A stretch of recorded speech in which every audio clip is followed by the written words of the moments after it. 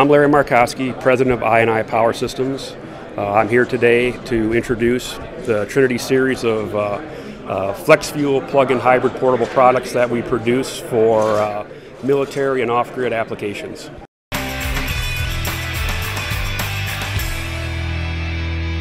So the problem that we identified uh, in, in, military space, and it also has to do with uh, some of the issues that we're seeing uh, in FOBs in Afghanistan and Iraq, was that it was taking a tremendous amount of support burden logistics to move power forward, such as uh, how do I recharge batteries in the field?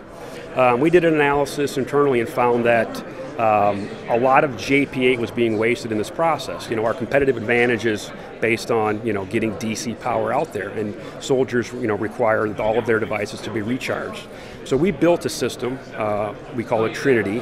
Uh, it's a series of products that combine a generation source, a harvesting source, and a storage source. So the sum of those products work in a, in a very plug and play fashion that, um, when coupled together, is an extremely powerful and, and, fuel efficient way with multiple level of power redundancies. Each module is man portable, uh, weighs less than 36 pounds, and our fuel generator system that we're introducing is flex fuel. Uh, any fuel that you can find in the battlefield is works in these systems. If you can put a match to it, it'll run in our flex fuel generator system, and that really provides a tactical advantages to people that are out in, you know, fobs or remote where there isn't a good logistics fuel supply. Anywhere you can scavenge fuel, whether it's gasoline or diesel or kerosene or alcohol, run in our system, and that provides a you know significant redundancy or backup power, especially if your life is on the line and I need power and I need my communication systems to work. You know that provides it. So also what we couple to that is a, a solar capability.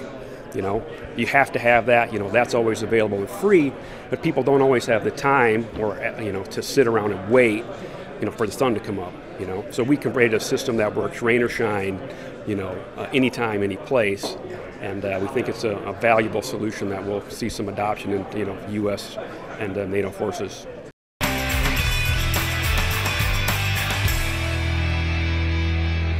We are just introducing the product line uh, as uh, at this show at Soldier Tech. Um, what we did is we based the design of this system based on soldier feedback in the first place. And you know, a lot of our um, discussions with people in the military was they'd rather have an 80% solution now than a 100% solution, uh, you know, two years from now. So we came up with a process where we, you know, built an 80% solution as quickly as we could, as effectively as we could, and that's what we're introducing right now.